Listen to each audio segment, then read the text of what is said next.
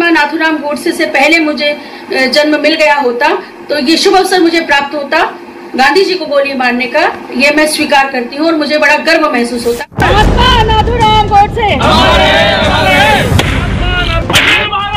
तीन दिन पहले महात्मा गांधी की पुण्यतिथि के दिन बापू की तस्वीर पर गोलियाँ चलाई थी और ना सिर्फ़ खुद गोलियाँ चलाई थी बल्कि कई और दूसरे लोगों से भी बापू की तस्वीर पर गोलियाँ चलवाई थी। वो अब भी फरार है। लेडी गोडसे ने क्या कुछ कहा?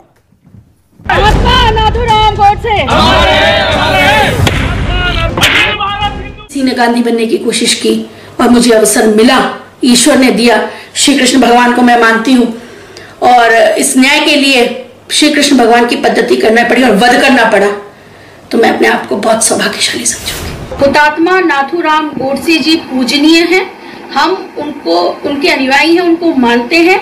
और निश्चित तौर पर अगर हुतात्मा नाथूराम गोडसे से पहले मुझे जन्म मिल गया होता तो ये शुभ अवसर मुझे प्राप्त होता, गांधी जी को गोली मारने का, ये मैं स्वीकार करती हूँ और मुझे बड़ा गर्व महसूस होता।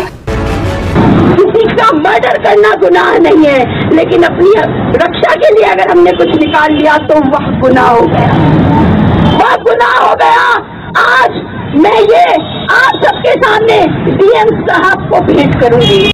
उन्होंने अपने बयान में कहा है कि मैं अपने आप को खुशनसीब समझती अगर गांधी को गोली मारती तो। ये- इस पर क्या कहना चाहते हैं? आप, बताइए। सुन लीजिए आप। उनका बयान है। उन्होंने उन्होंने कहा मेरी अभिव्यक्ति की ये ठीक है। हाँ, ये ये कहा। आज़ादी ये है। कहा कहा है कि अगर मुझे ये सौभाग्य मिलता तो मैं गौडसे की जगह गांधी को गोली मारती। ये देशद्रोह में आता है या नहीं आता है? भाई इतना बताइए। अगर आता है तो फिर उसके खिलाफ देशद्रोह देशद्रोह का मुकदमा लगेगा या नहीं लगेगा? और जो सपोर्ट कर रहे हैं यहाँ बैठ करके इनके खिलाफ भी देशद्रोह का मुकदमा लगेगा कल या से- नहीं लगेगा कल- जवाब ले लीजिए बीजेपी से कल हाँ, से- बीजेपी से राकेश त्रिपाठी। सुनिए। कि पूजा शकुन को, को, को अंदर डालो। देशद्रोह का मुकदमा लगना चाहिए इनके घर का कानून थोड़े है ये त्रिपाठी जी का। गिरफ़्तार? आप किस आरोप में कर पांडे रहे हैं? उनके जो पति अशोक पांडे हैं उनके गिरफ़्तार किस आरोप में कर रहे हैं? अमित शाह कीजिए। की कार्रवाई भी प्रचलित की है।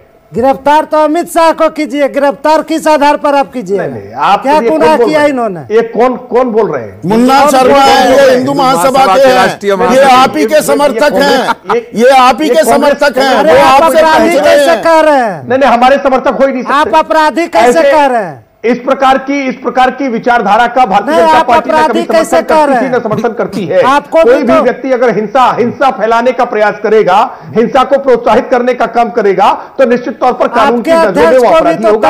और अपराधी है या नहीं है ये कानून से जाकर के सर्टिफिकेट लीजिए। न्यायपालिका के सामने जाइए। मुकदमा पंजीकृत है मुकदमा पंजीकृत होने के बाद कोर्ट के सामने जाइए कोर्ट तय करेगी। पूजा राकेश त्रिपाठी अपराधी हैं।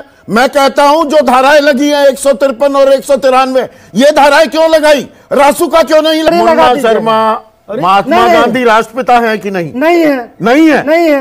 ये गांधी फादर ऑफ़ नेशन पूरा देश मानता है राष्ट्रपिता आप बिल्कुल आपको जानकारी नहीं है। क्या जानकारी आप नहीं दिखा दीजिए प्रूफ की फादर ऑफ़ नेशन है वो। पूरा देश मानता है। सुनिए ये देश की आस्था का सवाल है। मुझे लगता है। कि इनके खिलाफ भी एक एफआईआर होनी चाहिए। बिल्कुल होनी चाहिए। राकेश वो भागी हुई नहीं है। उन्होंने अच्छा, वो भागी नहीं हुई है।